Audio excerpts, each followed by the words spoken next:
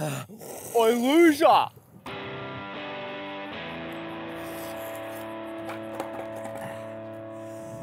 Who said you can ride your scooter around the skate park? Your mum? Yeah, nice one. Speaking of mums, did yours drop you off here? Yeah, she did. Too much of a pussy to catch the bus all by yourself, eh? I'm not a pussy. It's because I got hit by a car one time while riding my scoot, so now my mummy's scared when I have to catch the bus. You're a dumbass. How about you look both ways next time? Why is it so hard for you scooter kids to have a bit of spatial awareness? Why is it so hard for you skaters to get a job? I got a job. I work at Surf Dive and Ski. I've actually been there since I was your age, so how about you get a job? Surprised you haven't been fired for being stoned half the time. Just beat it, kid. This park's for skaters, not for people who haven't grown pubes yet. I got pubes. Yeah, I doubt that. Just take your little scooter and go play Fortnite or something like that. And how about you take your skateboard and go have a shower because you smell like a public toilet? No, I don't. I smell like beer. It smells like piss to me. It's not piss, mate. It's called Stone and Wood. It's a Pacific ale. But you wouldn't understand anything about that because you're a bit too young. So why don't you go drink your dumb shit like Prime or whatever you kids froth on these days? I actually drink Monster Energy drinks who are actually to sponsor me soon because of my sick scooter skills. Who's going to sponsor a dumb kid riding a scooter? Like, that's just a waste of money, eh? The only waste of money is buying a piece of wood with four little wheels on it. Coming from the person who rides around by jerking off handlebars, looking like Mia Khalifa in the bedroom, eh? riding scooters are much harder than riding skateboards. I just can't believe you just said that, eh? it's true.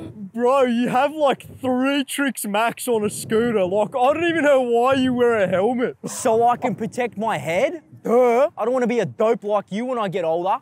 Who needs protection? All you need is skill. Um, all the top skaters, top scooter riders, and even BMX riders wear protection. It's a shame that your dad didn't wear any when he was making you. That's if you're in competitions, mate. I'm a street skater, so I don't need any of that protection. Well, enjoy your 30s, Mr. Street Skater, when you're walking around like a 90-year-old with bad knees and a metal hip. I guess that's the life of a street skater, mate.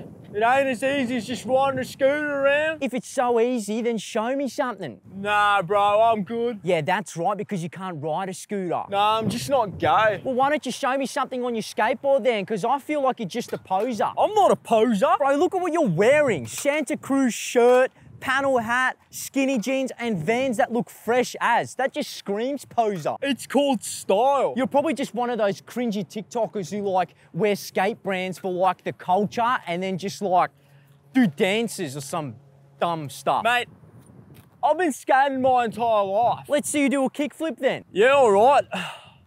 I'll show you a kickflip. What the hell was that? Oh, hold on. I'm rusty, all right? I haven't skated in like two years. It looks like you've never skated in your life. Dude, you suck. Well, then you show us something, eh, Mr. Scooter Kid? Show us a trick on your little handlebar thing. What do you want to see? I don't know, anything. Show me one of those spinny things. Do you mean like a bar whip? Yeah, that thing, whatever it's called. All right, easy.